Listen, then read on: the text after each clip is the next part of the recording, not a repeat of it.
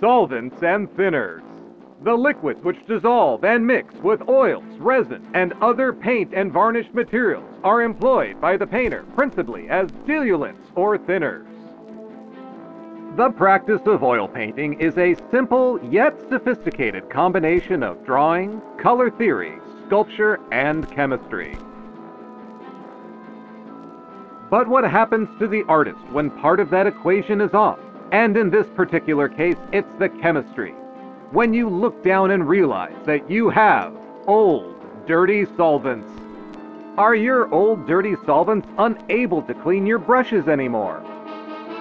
Are those dirty solvents muddying up your beautiful colors and color mixings? If so, it might be time to change out that solvent. However, disposing of solvents isn't that simple. Oh no, not there! Dumping solvents and paint down the drain is unwise and could be illegal in your area. Nope, wrong again. The chemicals used in solvents and paints are often very toxic and may cause environmental contamination or health problems. So what's the solution, you may ask, artist? Let's reuse and recycle our solvents. Now I know you're frustrated. And yes, spiking your blood sugar will kickstart your mood, not to mention all that glorious vitamin C for a great and glowing complexion. Hold on there. Let's reuse that orange mango glass container. First, let's give it a rinse to clean up all of that delicious sunshine.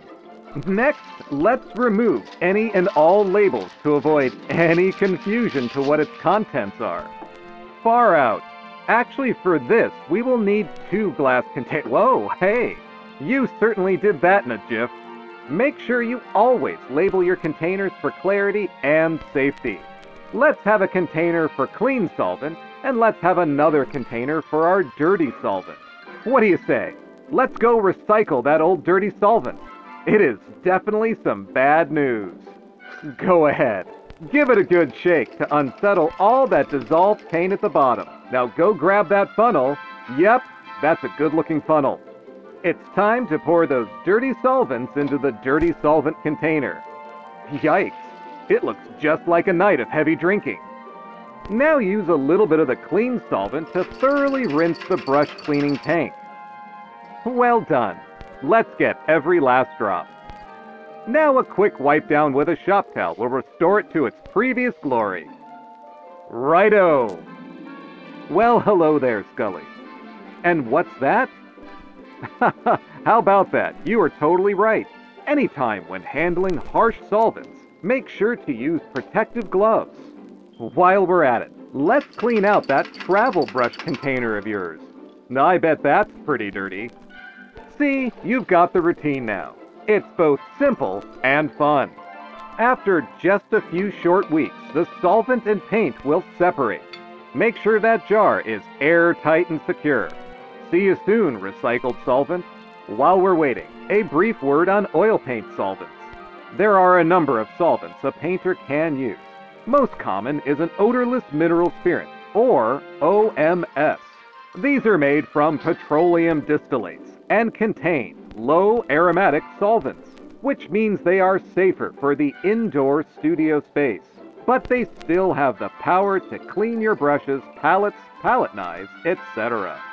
But they should not be used to dissolve natural resins like Damar, copal, and mastic. Meanwhile, turpentine is the classic artist solvent.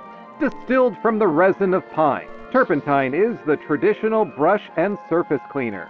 It is the solvent of choice for natural resins. However, it is considered toxic, especially the lower purity grades found in the hardware store. Always stick to high quality artist grade solvents.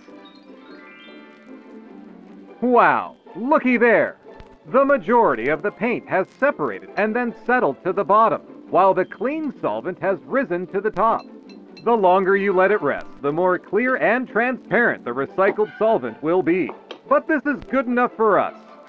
Now very carefully, pour off that recycled solvent into your clean container, making sure none of that dirty paint follows behind. Check that out. Good as new. The savings just keep adding up. Eventually, your dirty solvent container will fill up with paint, Look, there's an older one now. So what do we do with all that dirty paint waste? Well, responsible artists, just simply look up how to dispose of hazardous waste in your local area. I reckon that was a little too easy. Way to go, artist! Even dogs will write you in to their history books. Now let's get back to why we're here.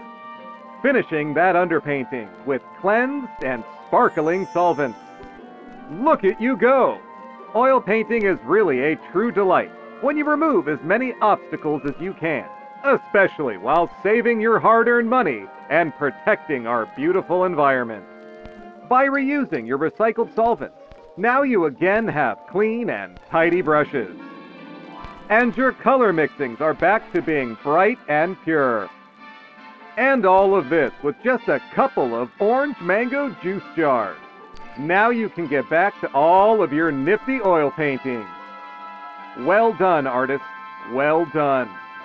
Until next time, thanks for watching.